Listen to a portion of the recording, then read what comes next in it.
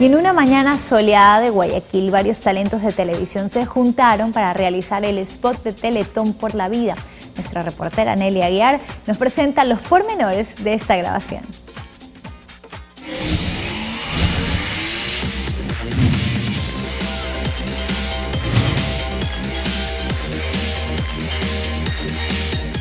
Se llevó a cabo en el Malecón 2000, en las instalaciones de La Perla, el backstage del spot oficial de la vigésima quinta edición de Teletón por la Vida, el cual contó con la presencia de varios artistas nacionales y presentadores de televisión.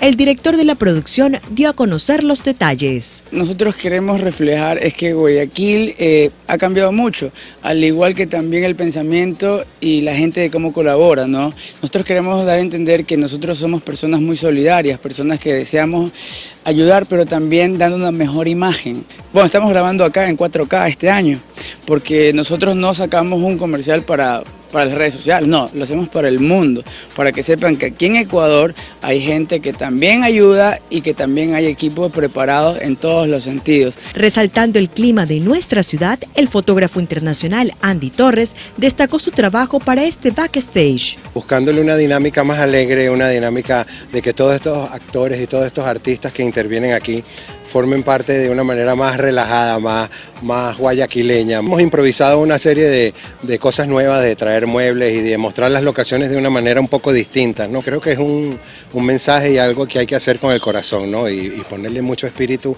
porque es una causa muy noble. Uno de los presentadores de pantalla que año a año han acompañado a la Teletón es Javier Segarra, director nacional de Noticias Telerama.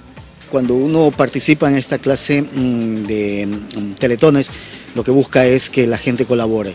Y hay muchas cosas que uno tiene que hacer, no solamente el día de, sino también el, momento en que es la previa de la Teletón, colaborar con todos, eh, pedirle a la gente, a las empresas eh, que vayan de a poco, ir en este camino que, es ayudar al más necesitado. Y ese ha sido el objetivo de la Teletón. ¿no? La experiencia que uno se lleva es eh, saber que hay gente que por más mínima que sea la cantidad de dinero, siempre está para aportar y siempre está para ayudar al que más lo necesita. De esta manera se espera llevar a cabo la Teletón por la Vida 2016, el sábado 3 de diciembre en el Teatro Centro de Arte.